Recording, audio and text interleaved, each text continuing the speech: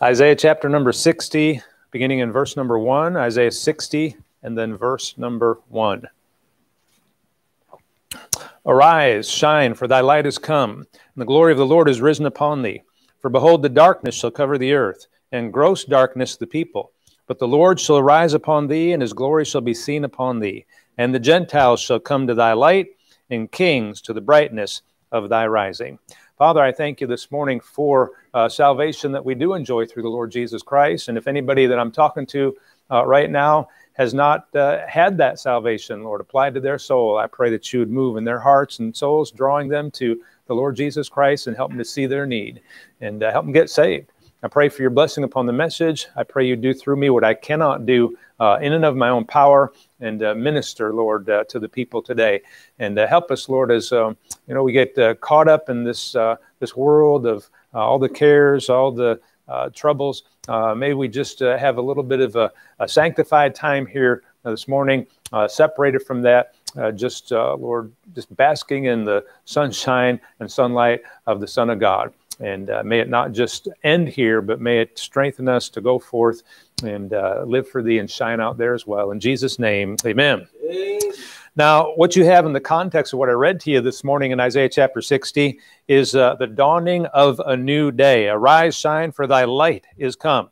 The doctrinal context of the passage is a time in the future when the nation of Israel is restored to her former glory and then actually exceeds that glory uh, as the Lord sets her on high above all nations on the earth. Uh, of the earth. This dawning of a new day will be the millennial dawn to come. Uh, after the second advent of Jesus Christ, with Israel then being the head, not the tail, in accordances with God's promises in Deuteronomy chapter 28, something that we've been coming across recently in our Sunday school studies in the book of Psalms. And I want to assure you this morning that that day will come. Sometimes it looks like the devil's winning, uh, but uh, if he's winning, it's only temporary. We haven't gotten to the bottom of the ninth yet. We're not in the fourth quarter yet. Uh, when it's all said and done, uh, Jesus wins.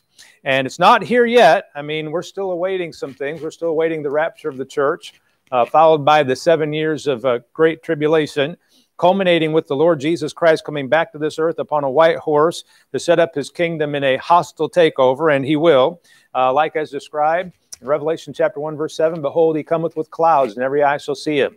And they also which pierced him, and all kindreds of the earth shall wail because of him. Even so, amen and uh, and the Lord's going to come and He's going to restore His people. Romans chapter 11, uh, verse 26 and 27. So all Israel shall be saved, as it is written, there shall come out of Zion the deliverer, and shall turn away ungodliness from Jacob.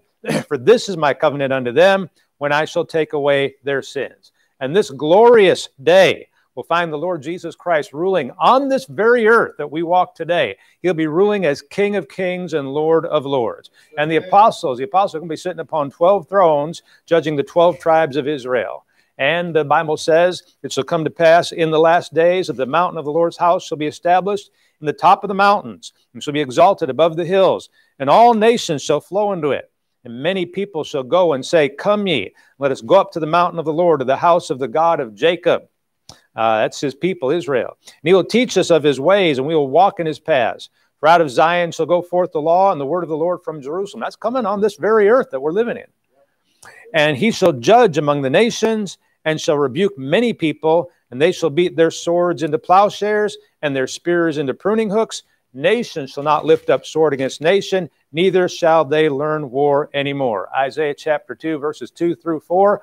And it's like that uh, song that was based on that. Uh, I ain't going to study war no more down by the riverside. They're not going to learn it anymore. Even so, come Lord Jesus, that's going to come to this earth.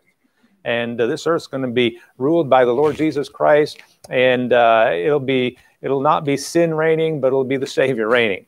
And uh, the words and the songs that come from people's lips uh, will redound to the glory of God on this, again, very earth, this same terrain that we're living on uh, even now.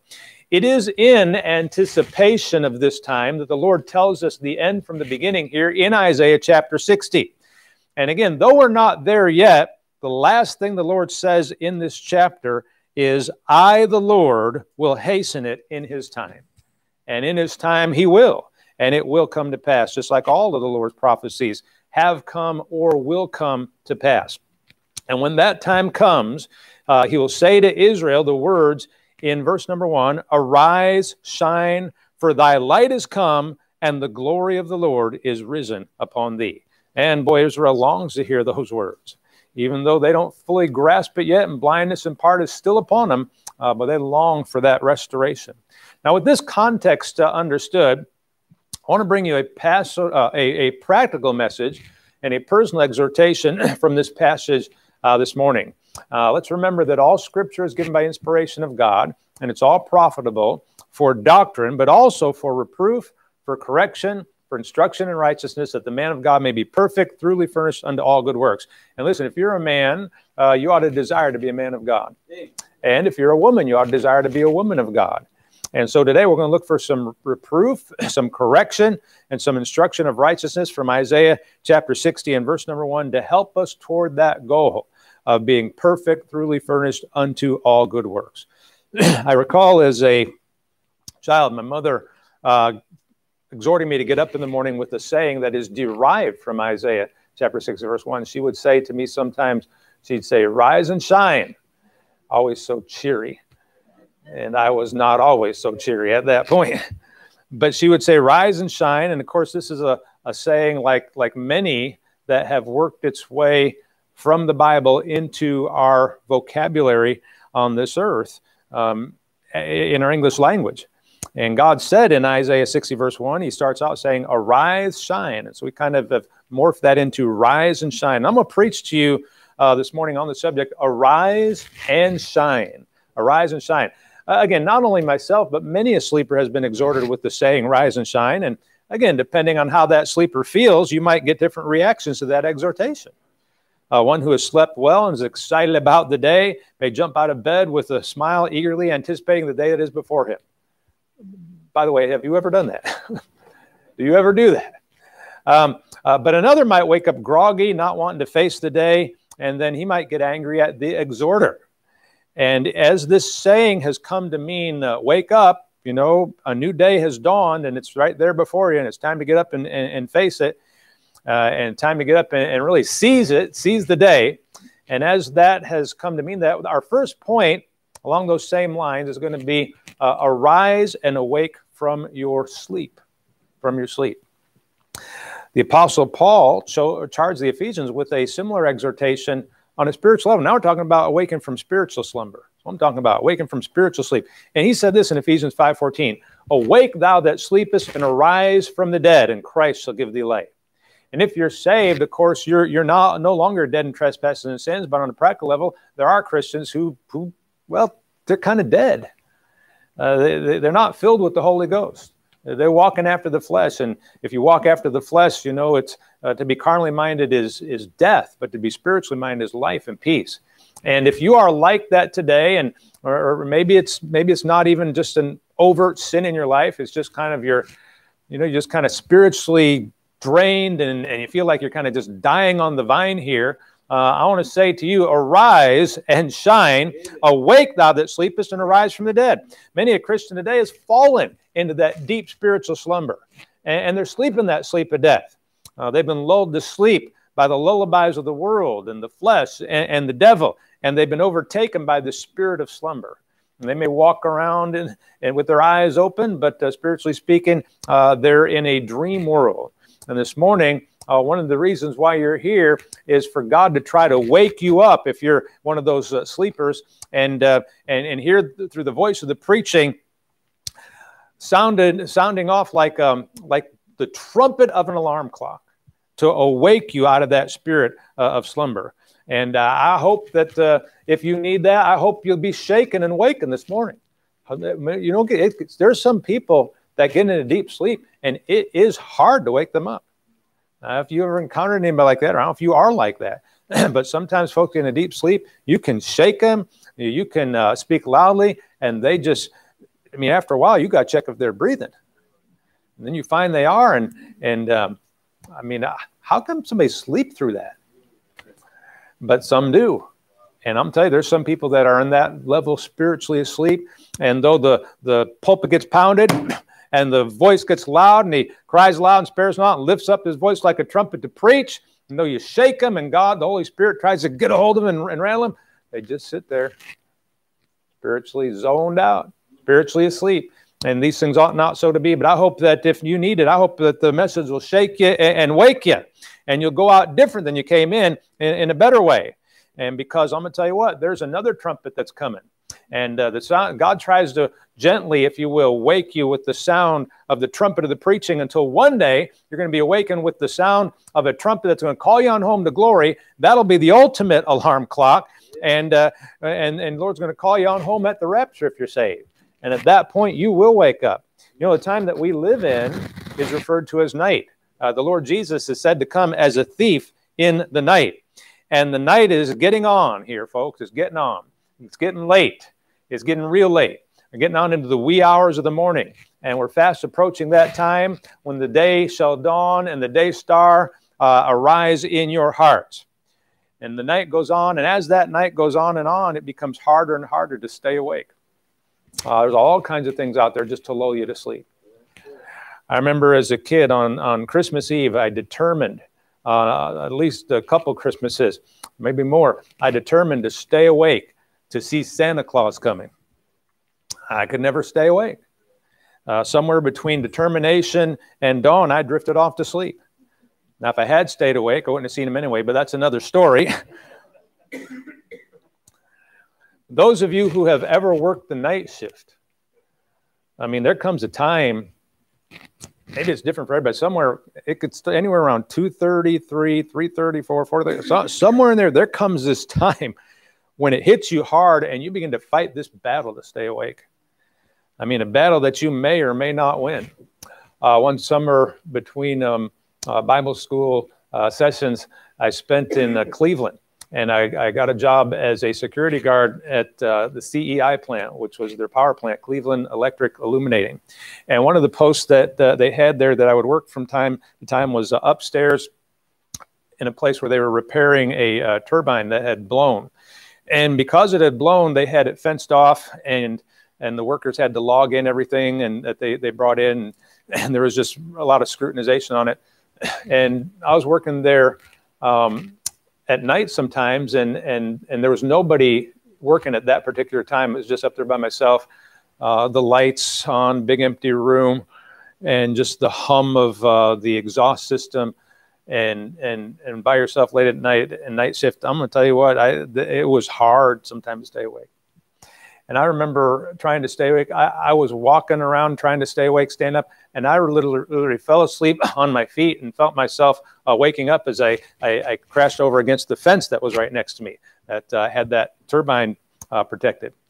And then I was um, sitting there at my desk uh, once, and um, I, I, I, I, thought I was awake, but I didn't know I had drifted off. And um, my eyes opened as I heard my uh, supervisor coming up, he was coming up for one of those, you know, regular inspections they got to do, just check on and make sure everybody's at his post and awake. and, um, and, and I heard him say, uh, Amen. Now, my supervisor was a Christian. Thank God. but, but he said Amen, and, and, and my eyes opened as he said Amen. And, and I, I said, Amen. He said, Yeah, when you're done praying, you're supposed to say Amen and he had my back, thank God. but but I'll tell you what, it gets hard. It gets hard to uh, to stay awake. And I'm gonna tell you again, it's getting late, folks. It, it's getting late. It's easy for us to be lulled to sleep by the cares of this world, the deceitfulness of riches, and the lust of other things entering in, which choke the word and cause it to become unfruitful. And the exhortation, the scripture goes on like this How long wilt thou sleep, O sluggard? When wilt thou rise out of thy sleep? Get a little sleep, a little slumber, a little folding of the hands to sleep. So shall thy poverty come as one that traveleth, and thy want as an armed man. And I'm going to tell you what, that works in people's lives who are lazy as far as life on this earth, but uh, there's even more application to those that are spiritually lazy. I'm talking about saved people now who just uh, live in the spiritual dreamland and just to drift off into never, never land and, and, and sleep away their Christian life, uh, so to speak. He says, So shall thy poverty come. Thy poverty comes when it traveleth. Thy poverty, as Jesus told the church at Laodicea. And what he told them, folks that thought they were doing pretty good, Here's what he said to them Knowest not, he said to them, that thou art wretched and miserable and poor and blind and naked. Why, they thought they were doing good, but they were spiritually poor. They said, "Hey, I, am doing good. We're, we got we got it going on here. Everything we got. We're rich, increase with good. Everything's fine." But no, Lord said, "You're you're miserable, poor, blind, and, and naked, and wretched." He said, they were spiritually poor at the time that, that Jesus said this to them, and they were in danger of becoming spiritually poor at the judgment seat when they stood before Jesus Christ. And so the Lord, knowing they were in spiritual poverty right then, tried to wake them up out of their slumber so that they would begin to serve Him and live for Him so that when they did get up there, they would not be spiritually poor. For after He had said those things to Him, to, to the church at Laodicea, uh, He said to them, I counsel thee to buy of me gold tried in the fire that thou mayest be rich. Right now, you're poor. If you want to be rich, you're going to have to buy from me some gold tried in the fire. Now, they got salvation, the foundation, which is Jesus Christ, and they're to build upon that gold, silver, and precious stones. But they were just filling it up with wood, hay, and stubble. He said, I counsel you to buy of me some gold tried in the fire, and thou mayest be rich. And white raiment, that thou mayest be clothed, and that the shame of thy nakedness do not appear. And anoint thine eyes with eye salve, that thou mayest see. He said, As many as I love, I rebuke and chasten. Be zealous, therefore, and repent. It's hard to get a sleeping person to be zealous.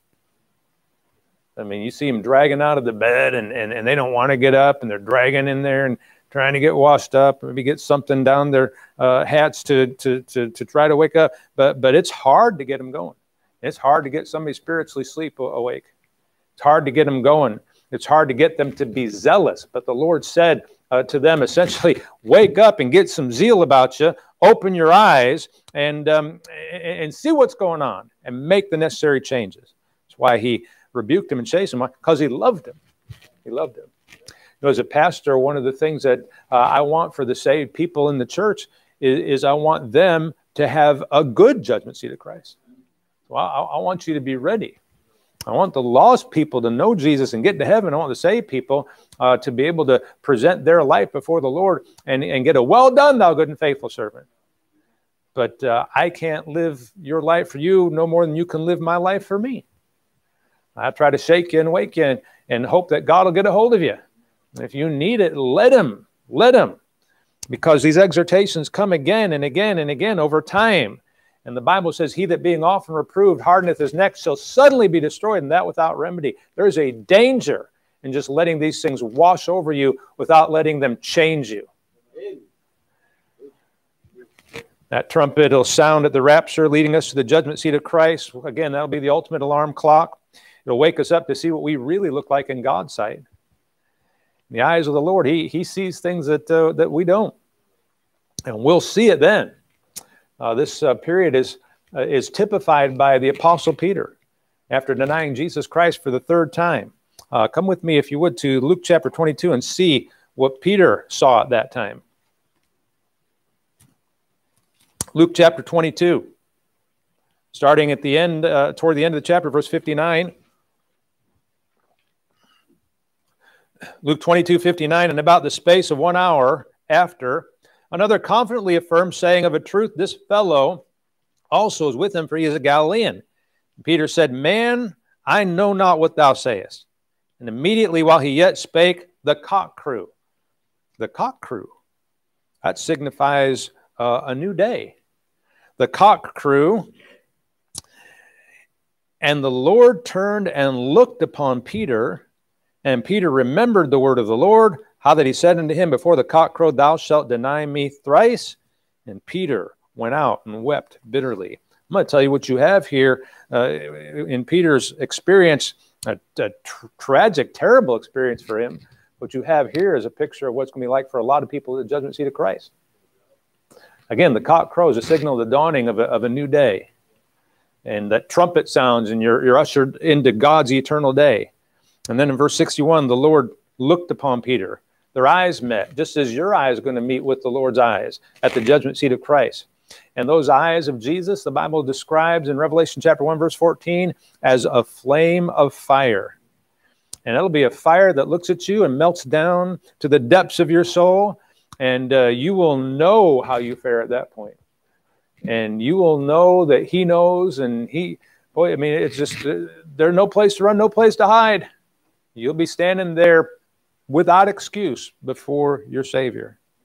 And according to 1 Corinthians chapter 3 and verse 13, your works as a Christian, whether they're good or bad, are going to be tried by fire.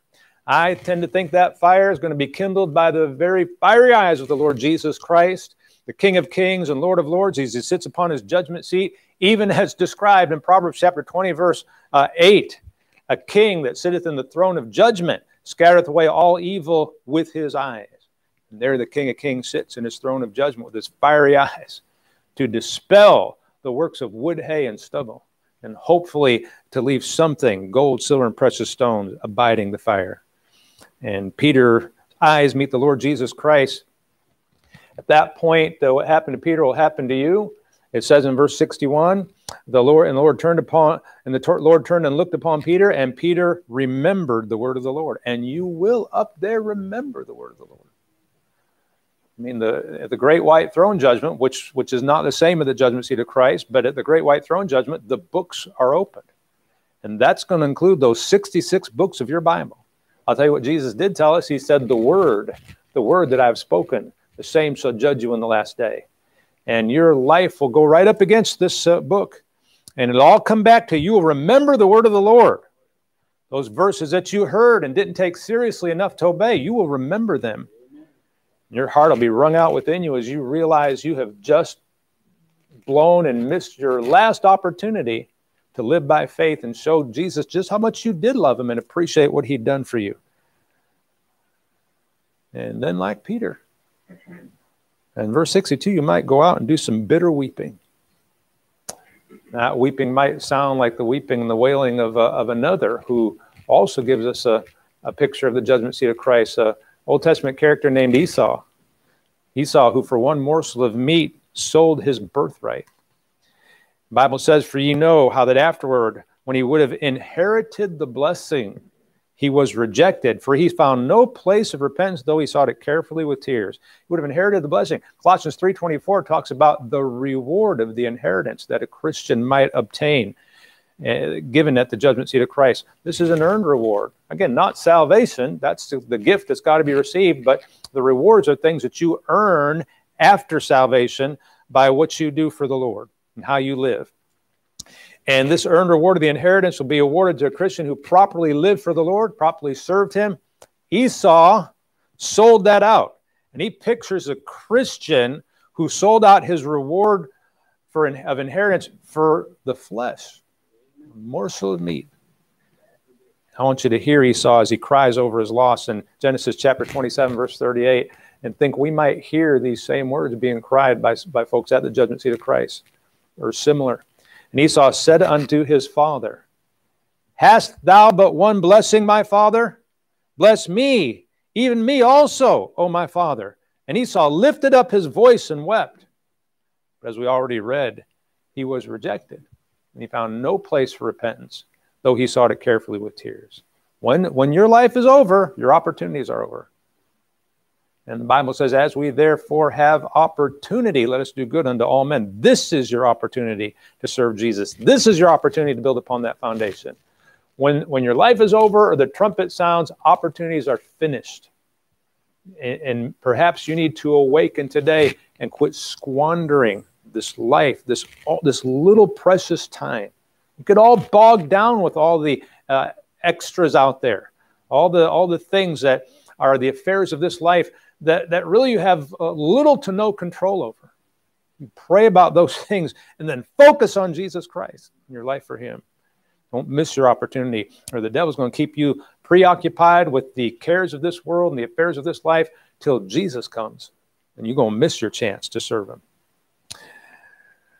if this spirit of deep sleep is upon you, let, let, let, me say, these experiences, Peter, Esau, it could be your experience at the judgment seat.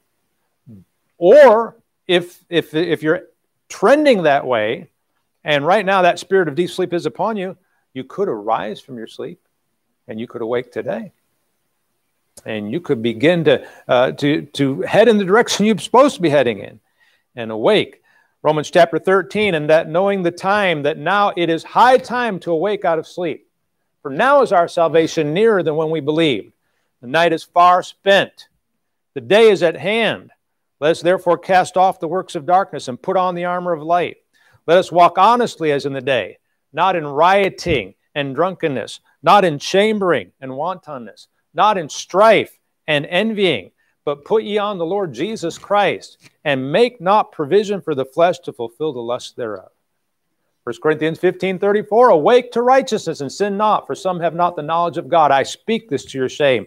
Arise and awake from your sleep. That's number one. Number two, let me uh, suggest this for those that uh, need it or may need it in the future. Arise out of your discouragement and depression he said here, he said back in Isaiah 60, arise, shine. Some folks don't shine, their light is dim. Things look dark, they have a dark outlook. They are discouraged, they are depressed. And I want to tell you, folks, listen, I know it, God knows it, it is true. Discouragement and dis- depression are real things. I deal with people that, that go through it, and sometimes it's just like waking somebody up out of sleep. It's hard to get them up out of that sometimes. I say hard, but in both cases, not impossible. Because with God, all things are possible. And, and discouragement and depression are real things, and, and many a person battles them in silence, even many a Christian. And if you're one of those people, I want you to know right now that there is hope for you. There's hope. How depressed or how discouraged you feel and how dark it looks, there's hope. With the help of God, you can arise out of your depressed state And you think of the word depress, depress, depress. It's something or someone pressing down on you, keeping you from rising up. You've got to rise up from that pressure, that depressed state. Uh, doctor takes a, a, little wooden stick, looks like a clean popsicle stick. At least we hope it's clean, and uh, and he presses your tongue down. They call it a tongue depressor and that's something pressing down. And, and we have things that press down on our, our being, our spirits, our souls. Your adversary, the devil, will seek to oppress you and depress you to keep you down. And there's a lot of things that can bring about uh, depression, a lot of things that bring about uh, discouragement. There's many reasons. And let me say, folks, that the condition begins as discouragement. And discouragement is, as the word suggests, it's, it's a loss of courage, discourage. And when you lose courage, it's, it's hard to fight. You just don't feel like you can face things. You just, you just don't have it in you. You're, you're afraid it's, nothing's going to work. The loss of courage, the discouragement, when not properly addressed, then can turn into depression. And then depression, when not properly addressed, can turn into despair. Uh, you should you should understand, and I, I, hope that you'll get this down so deeply that uh, you'll never get to this place. But for a Christian, there is absolutely no reason whatsoever for you to despair, because when this is all said and done, you live happily ever after. So at worst, even if your life was going to be miserable to the day you die, you're still going to wind up on top of things. That being said, your life doesn't have to be miserable to the day you die. You have a, a choice to make inside whether to live filled with the Spirit, which provides you with the feeling of, of love, joy, and peace, among other things, or to let the devil take you down and, uh, and, and circumstances and just, just be upset and troubled. And it's no way to live. In fact, one of the reasons I got saved, because I got tired of living like that. And when I saw the invitation, come unto me, all you that labor and are heavy laden, I'll give you rest. I, I said in so many words, I'm in. I'm laboring. I'm heavy laden. I'm worn out with this thing. I want that rest. And he gave it to me. And I got saved. And I don't know, a year, year and a half, uh, two years somewhere later, I began to just bear all the burdens of all the knowledge and the wisdom and the messed up condition of the world and all the trouble. I began to be pressed down under them again. And I got thinking about Matthew 11, 28 again, and I thought, you know what, if the, I know I'm already saved, but if that worked good for me being saved, and, and here I am to, to get saved, and here I am saved, and once again I'm laboring and I'm heavy laden, why not just come again? Now, I didn't have to come and get saved again, but I came back to Jesus again in, a, in kind of a fresh way and cast my burden upon him and found that rest and that peace uh, once again. So, so discouragement can turn into depression. Depression can turn into despair. But, but you can back that thing up. You don't need to be discouraged. You don't need to be depressed. You don't need to be in despair. But you may find yourself there sometimes. And if you find yourself there, I'm not saying that you've sinned because you are there, but I'm saying once you recognize that you're there, you need to get yourself out. You can't keep from being discouraged or being overtaken by discouragement. You can keep from living there. That loss of courage, it, it can be a tough, uh, tough thing. But you can arise to get into place of sustainable joy. I want you to believe that and understand it because it's true. Uh, there's different things that bring these things on. Sometimes, sometimes discouragement, depression, even despair. Sometimes these are brought about by physical conditions, uh, your body ailing. Sometimes they're brought about by an unhealthy diet. I had to recognize in my own life uh, certain things that uh, I put into my body uh, were were causing me to to suffer some discouragement and feel depressed. And I had to trace it down to uh, to the element, and, and and I had to get out of the sugar blues, which it was in my case. And sometimes these things can be brought about by disappointments. Uh, disappointments. Think about that word, disappointment. Here in your mind, you had appointed something to happen a certain way, didn't happen that way, and you were disappointed. These things can leave you discouraged. Difficulties of life can leave you discouraged. Troubles, trials, tribulations, they can, they can press upon you and, and, and get you into a depressed state. Defeats defeats can, can, can discourage people. Sometimes you, you just need some victories. And, and the defeats can put you down. But in each case, and whatever the particular reason, at, at part of the root for these things, or at the root of these things, whatever the reason, the devil jumps on board and uses those things and, and heightens this thing in the realm of spiritual warfare.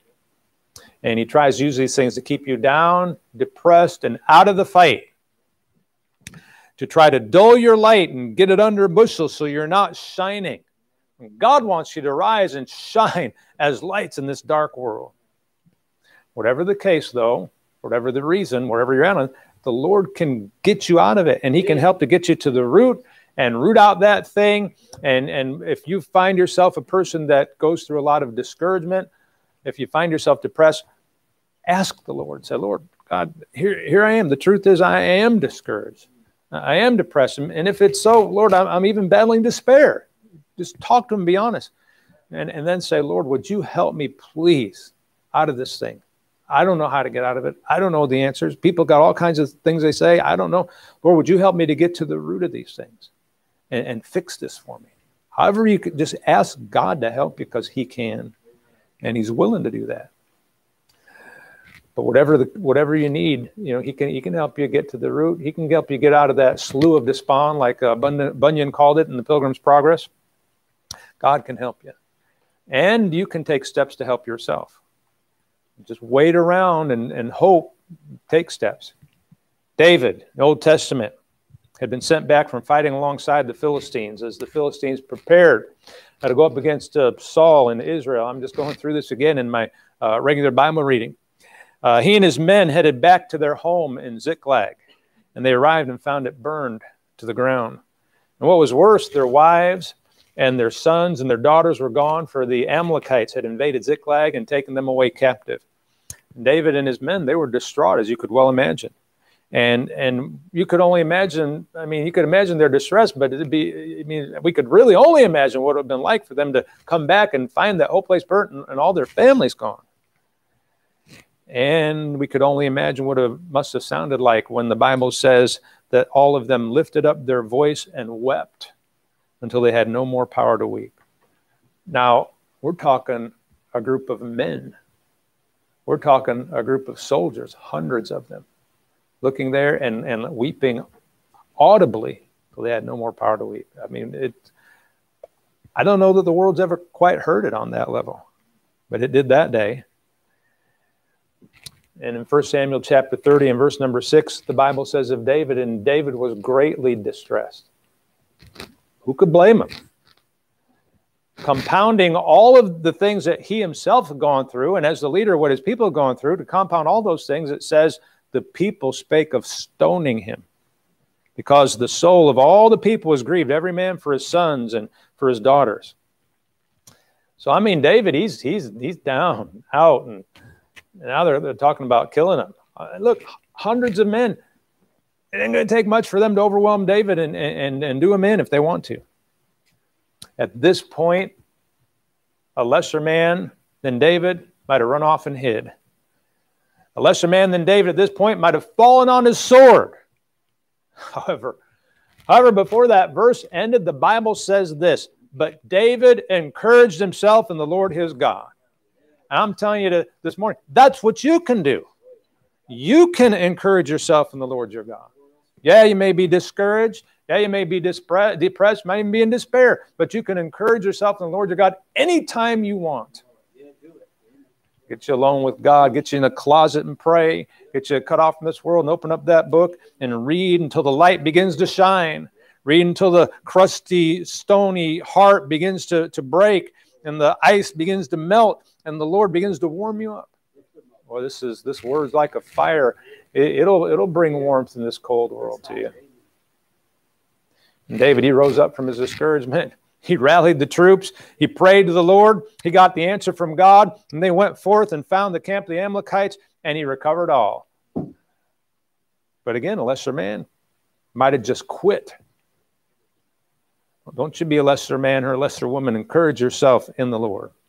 I'm likely talking to somebody right now who's who's down and out. I'm likely talking to somebody right now who's um, discouraged, maybe depressed, maybe in despair, or maybe that's kind of how you go through the week.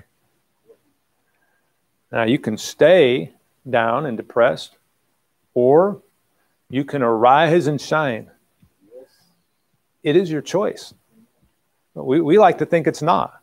We like to think this is just my lot and this was what happened to me and I have no control over it. You have control over things. You don't have control over every, you don't have control over everything that happens to you, but you have control over how you respond to what happens to you. It's all you can do. You can stay down and depressed, you can rise and shine. It is in the power of your will to make that choice. So I, I exhort you simply arise and shine and encourage yourself in the Lord your God. Listen to 2 Corinthians chapter 4, verse 8 and 9. We are troubled on every side, yet not distressed. We are perplexed, but not in despair. Persecuted, but not forsaken. Cast down, but not destroyed. That's some verses for you right there. Yeah, you've got trouble on every side sometimes in this world, but you don't have to be stressed about it. You don't have to be in distress. You can be perplexed and confused, like, what in the world is going on now? But you don't have to be in despair. You can even be persecuted, but he has said, I'll never leave thee nor forsake thee. You might even be cast down, but you don't have to be out. Again, remember, discouragement, as we said before, it, it's discouraged. It's that loss of courage. Uh, someone has aptly said, courage is not the absence of fear, it is the presence of God. And truly, that, uh, that will work for a Christian. With God on your side, you can go forth with confidence, even if all of your fears have not yet subsided. I mean, I mean you sometimes go on in, in fear, but you go with faith that the Lord is with you. Uh, Karle Wilson Baker uh, was a, a female American poet and writer. She spelled her first name K A R L E. And Karle Wilson Baker wrote an insightful and powerful little three line poem published 99 years ago in October of uh, 1921. And she said this talking about uh, courage. She said, Courage is armor a blind man wears, that calloused scar of outlived despairs. Courage is fear that has said its prayers. Some of you might need to do, you might need to go take your discouragement into that prayer closet and say your prayers until God fills you with his courage. Would you come with me to the book of Micah? Toward the end of your Old Testament, in the minor prophets, Amos, Obadiah, Jonah, Micah, right before Nahum, before Habakkuk. Micah chapter 7.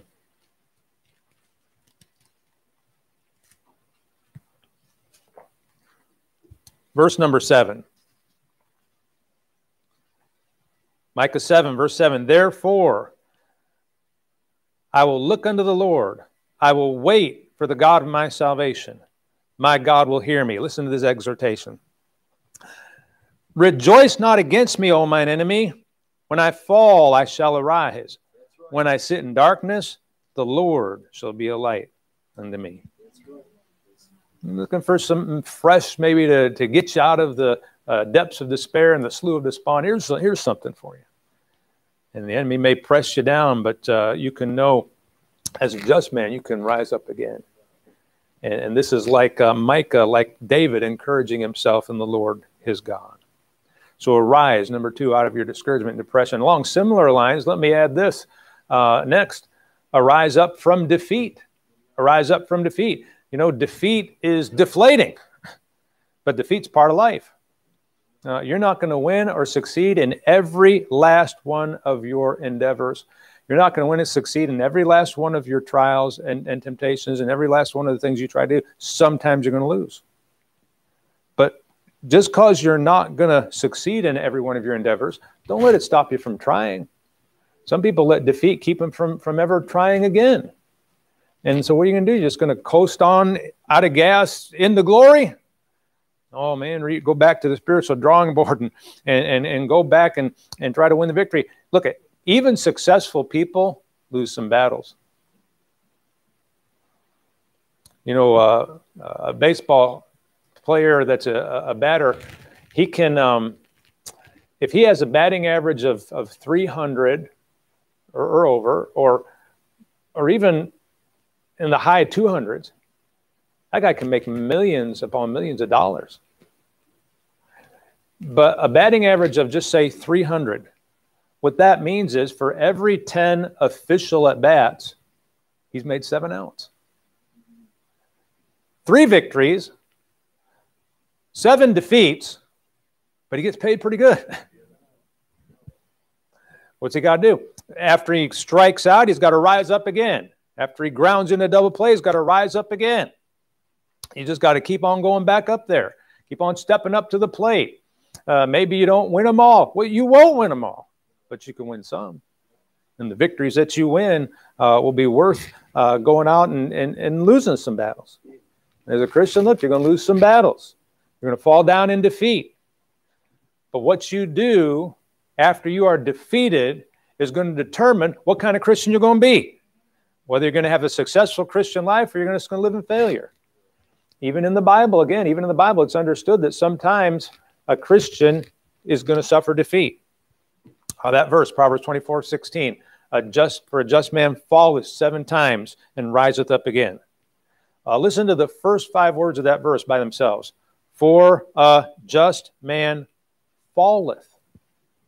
God understands that even a just man's going to fall. We're talking about us as mere mortals. Of course, the Lord Jesus Christ was victorious, but he was God in the flesh, and thank God he was. That's where we get in on all this. But as mere mortal human beings, God understands that a just man's going to fall. But he also tells you what a just man's going to do next. He's going to rise up again. Fall seven times and riseth up again. Now, that's still not the end of the verse because the verse goes on. So here it is in its entirety. For a just man falleth seven times and riseth up again, but the wicked shall fall into mischief. So in that verse, both the just man falls and the wicked man falls, but the just man rises again and the wicked man does not. No mention of him rising again. He just falls into mischief and stays there. But the just man rises up again.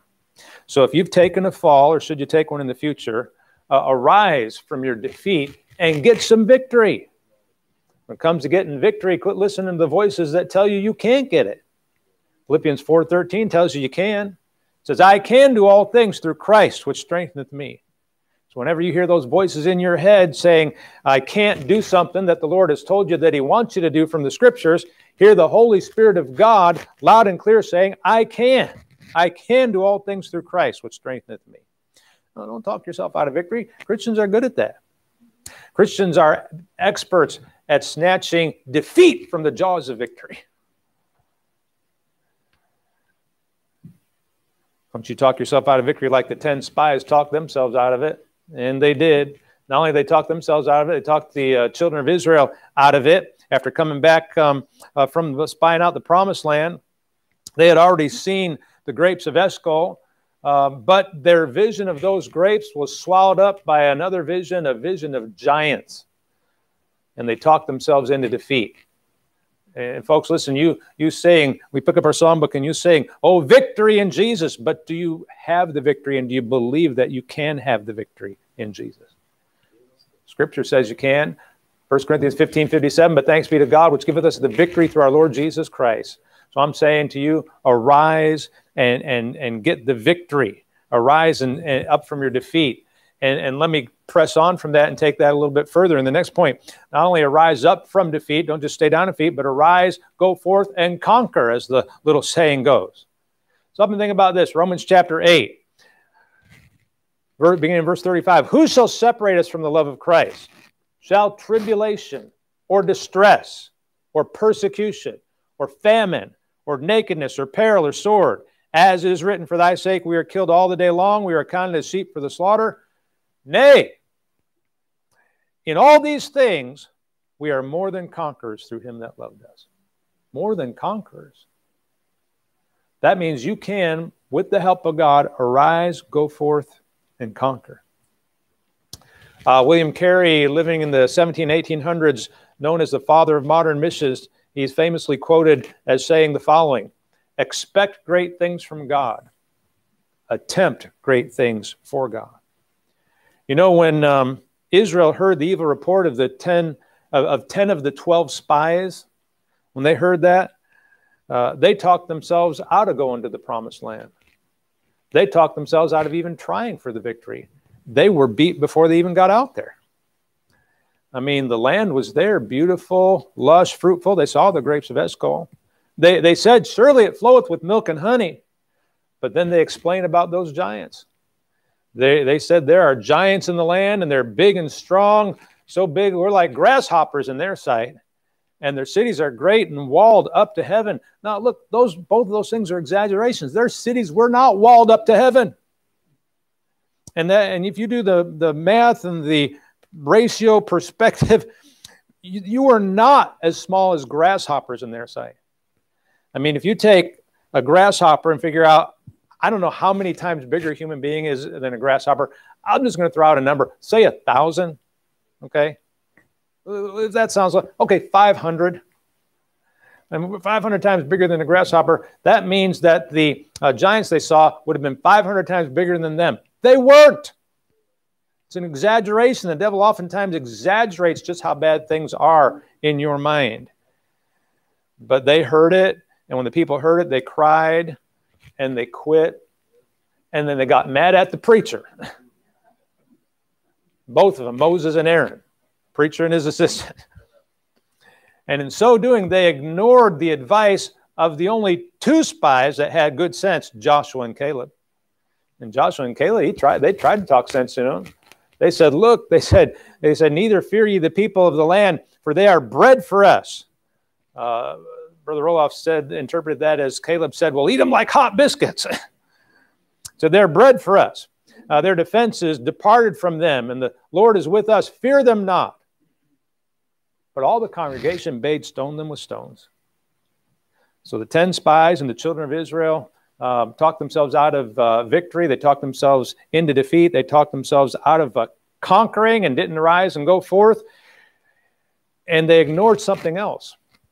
They ignored the fact that the Lord had said to Moses the following Send thou men that they may search the land of Canaan. This was before the spies went out. Send thou men that they may search the land of Canaan, which I give unto the children of Israel. God said, I, I, I give this land. And, and they let the promises of God be swallowed up by what they saw and they walked by sight, not by faith. They saw it was before them and, and thought, surely God's promise can't overcome this. But it could. And it would have had they uh, stepped out by faith. God said, I give them the land. By the way, that's why the land's called the promised land, because he promised to give it to them. And instead, they talked themselves out of getting it. They wandered uh, because of that in the wilderness 40 years until all the generation that had done evil in the sight of the Lord was consumed. And wherefore, as the Holy Ghost saith today, today, today, if you will hear his voice, harden not your hearts like maybe you have done so many times in the past when God brought you just about to that place of conviction where you're going to make a change and then you just let it all go away and stayed the same. Harden not your hearts as in the provocation, in the day of temptation of the wilderness, when your fathers tempted me, proved me, and saw my works 40 years. Wherefore I was grieved with that generation and said, They do always err in their heart. They have not known my ways. So I swear in my wrath, they shall not enter into my rest. These uh, words of the Lord spake uh, against a people that failed to arise, go forth, and conquer at his bidding. And it would have been would have been a great thing to attempt, just to make that attempt to conquer the promised land. They didn't do it. Of course, a later generation would, by the way, along with Joshua and Caleb, the two spies that said we can do this, but the rest missed out. No doubt, no doubt there are some great things you should be attempting for God. Things that the Lord would help you conquer. Some victories over sin that you could win, some higher ground to conquer. And in your mind, I, I think probably in moments of clarity and, and, and, quietness, as you think about it, I think probably in your mind, uh, you have an idea of some of those areas that you'd like to conquer. And some of those changes that would be made in your life if you were the victorious Christian that you really inside want to be and know the Lord wants you to be. I mean, if you were to really take your Christian life to the next level, you got some sort of idea what it would look like. At least, at least those next steps, don't you? And so, if you do, to ask, what's keeping you from from conquering those areas?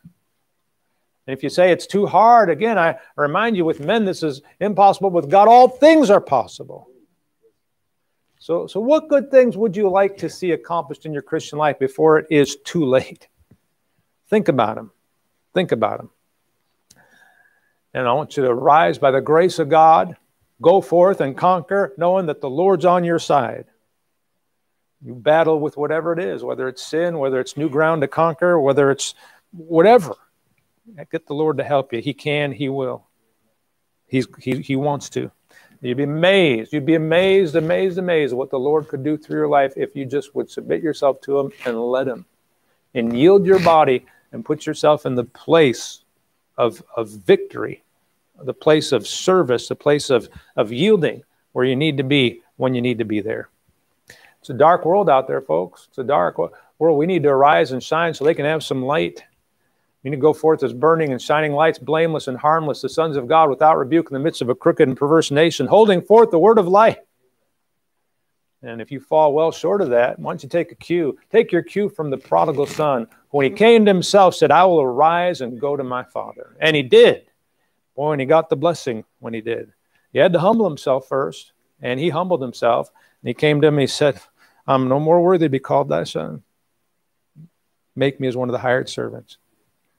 Boy, for a Christian to humble himself along those lines, I mean, God know he'd be serious at that point, wouldn't he? The Lord can put you on back on track make you as the um, put you on the, the path of the just, right? Which which uh, shineth more and more into the perfect day, where you can arise and shine. Old Christian hymn says, "Rise up, O men of God, have done with lesser things. Give heart and soul and mind and strength to serve the King of Kings." And that's a good exhortation for men, women, and children, all all of the above. So whatever you need to do, I want to invite you to, to do it. Do it right now. I want you to bow your heads. Close your eyes. And the invitation is for you. If you're pressed down, if you're asleep, if you're in defeat, if you're trying to rise up out of defeat and, and arise, go forth and conquer, whatever your case, if you if you need to to arise, I want my invitation is to to literally arise out of your seat when the invitation starts, and and humble yourself and come down to an old fashioned altar, and do some business with God. Father, I, I pray that you would help us today and, and help anyone today, maybe discouraged, maybe depressed, maybe even despair. Help them, Lord, to take you at your word and hear the exhortation that you have for them personally today and to do something about it. Whatever needs to be done, help it to be done, I pray, during this invitation time and then afterwards. In Jesus' name, amen. I'd like you to rise, stand to your feet if you can. Music plays. We'll have heads bowed and eyes closed. Don't don't go out unchanged if you need change. Don't go out without seeking the Lord's face if you need to seek his face. Arise today and go forth. Maybe to the altar. Conquer some things. Let the Lord help you.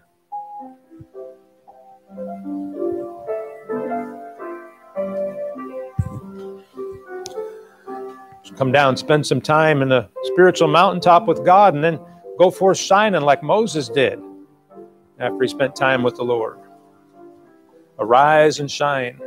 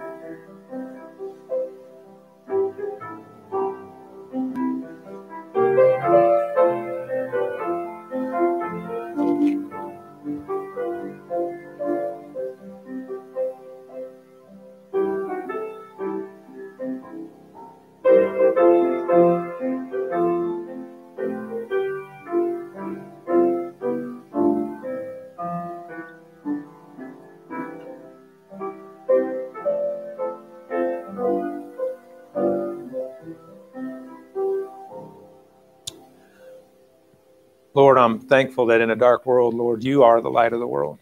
And then you told us that, that we were. And we know the only way we can do that is to reflect your light. So help us to get the obstruction out of the way. And Lord, where business may yet need to be done based on uh, what you had for, uh, Lord, your people today, may that business be done. May it not be forgotten. May it not be sloughed off. May it not be uh, another message where they got right close to, to making a, a necessary change and and just let it wear away.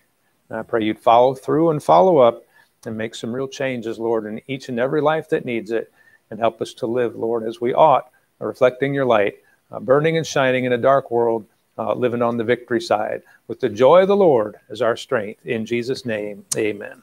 amen.